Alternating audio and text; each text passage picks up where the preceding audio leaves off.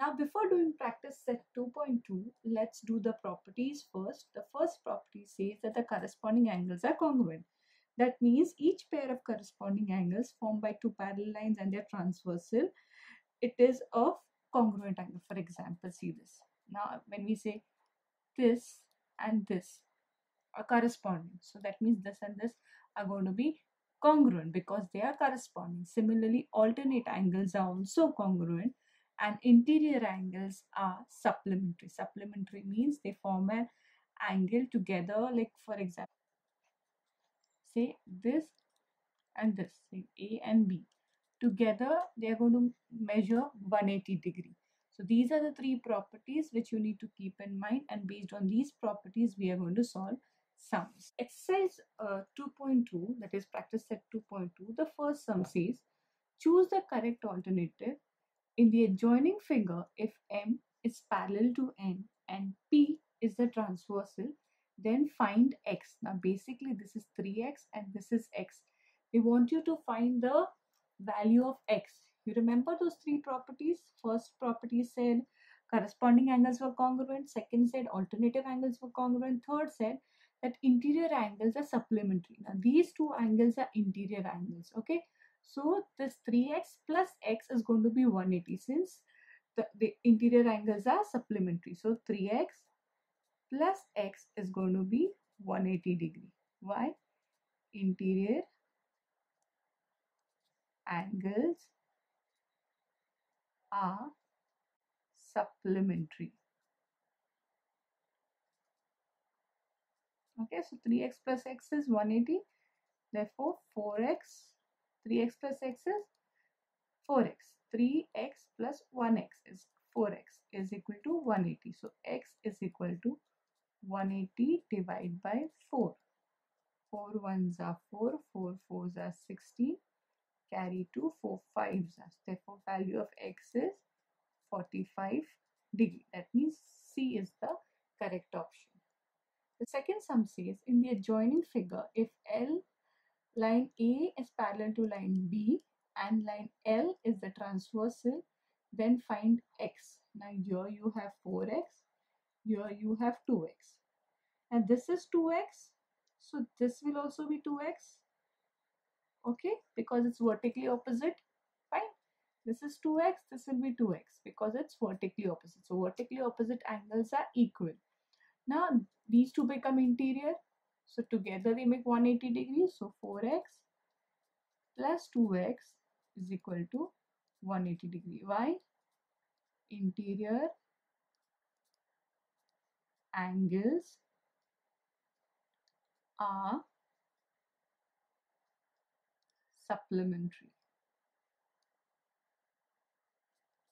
Okay, so 4x plus 2x is 6x. 4 plus 2 is 6x is equal to 180. So x is equal to this 6 comes down 180 upon 6. 6 ones are 6 threes are 0. So is equal to 30 degree. That means D is the correct option.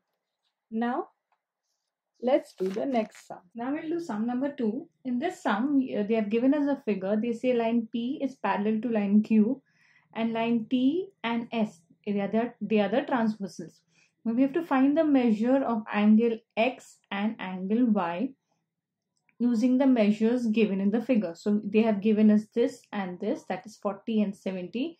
Now we have to find out x and y.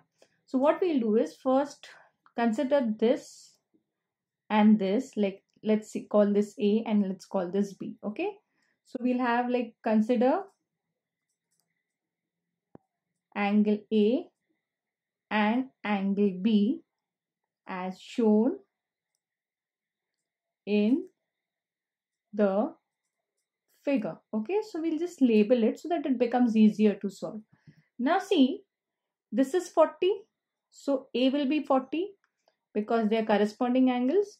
So angle a is equal to 40 degree. We'll write the reason.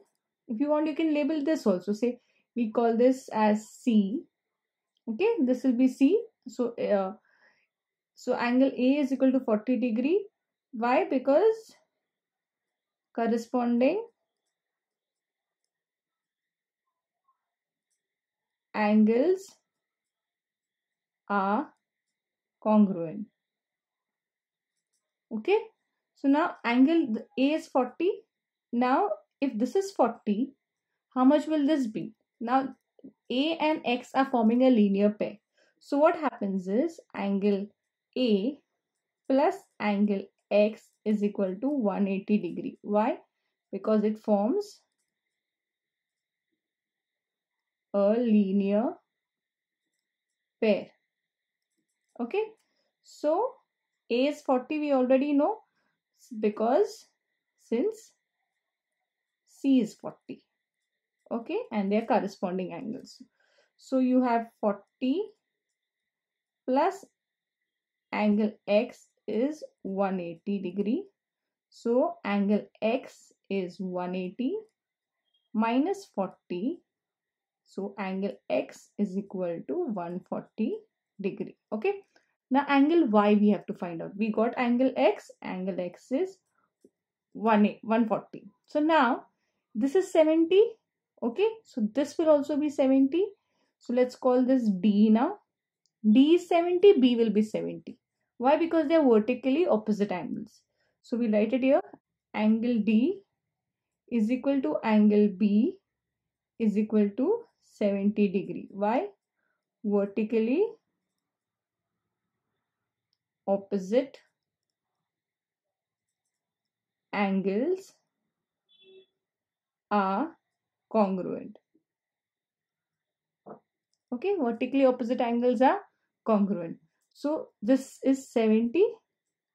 Now, this plus this, they become interior angles and interior angles form uh, 180 degree that is their supplementary. So this B plus Y is going to be 180 degree. So angle B plus angle Y is equal to 180 degree. Reason will be interior angles are supplementary. Okay. So interior angles are supplementary. B is 70. So 70 plus Y is equal to 180 degree. So Y is equal to 180 minus 70. Angle Y is, go is going to be 110 degree. So X is 140 and Y is 110 degree. I hope this is clear to you.